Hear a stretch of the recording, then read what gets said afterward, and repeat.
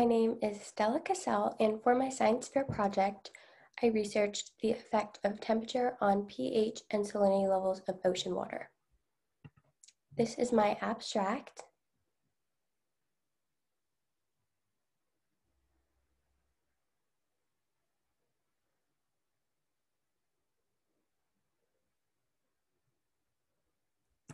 Some background information. The ocean covers more than 70% of Earth's surface, and the ocean is 96.5% water, and the other 3.5% is made up of salts and minerals like chloride and sodium. A pH level tells how acidic something is. The average pH level of the ocean is around 8.1%, which makes it basic. Some factors that can affect pH levels are carbon dioxide and air pollution. If the pH level in the ocean becomes too high, it could cause corrosion to occur. This would break down the hard surface of shells and shelled animals. Here there is a picture of um, different things and their pH levels. And seawater has an average pH level of around 8.1%, so it's right here on the spectrum. A salinity level tells the salt content of something, the average salinity level of the ocean is 3.5%. Experimental design. The goal of the investigation was to answer the question of, does temperature affect pH and salinity levels? The hypotheses for this experiment are as follows. If the temperature is increased, then the pH levels will decrease and the salinity levels will increase and if the temperature is decreased, then the pH levels will increase and the salinity levels will decrease. This would mean that the warmer the water is, the more acidic and salty it will be.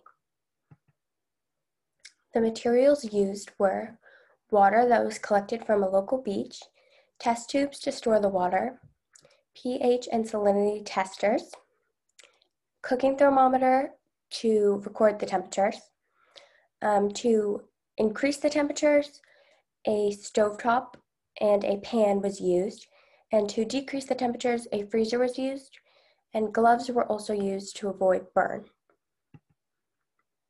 The experiment consisted of collecting and sampling water at various temperatures, testing pH and salinity levels, and recording data. The tools that were used were pH meters and refractometers. The independent variables were the water temperature, the dependent variables were the pH and salinity levels, and the controlled variable was where the water was being collected from. The procedure was first collecting and rationing ocean water, second recording the temperatures, pH, and salinity levels of the ocean water, third adjusting the temperatures to be colder or hotter than the original temperature, recording the new temperatures and pH and salinity levels. Fifth, repeating steps until enough data had been collected. And finally, organizing and analyzing the data. Results and discussion. Um, the original temperature of the ocean water was 58.3 degrees. The original pH level was 7.68 and the original salinity level was 710 parts per thousandth. And as you can see, when the temperature was increased, the pH level and the salinity level also increased. And where the temperature was decreased, the pH and the salinity levels also decreased. The results in the experiment were not as predicted. It was predicted that an increase in temperature would cause a decrease in pH levels and an increase in salinity levels. The increased temperature caused an increase in pH levels and an increase in salinity levels. The other prediction was that a decrease in temperature would cause an increase in pH levels and a decrease in salinity levels. The decreased temperature caused both a decrease in pH and in salinity levels. Error. There could have been two things that caused error in this experiment.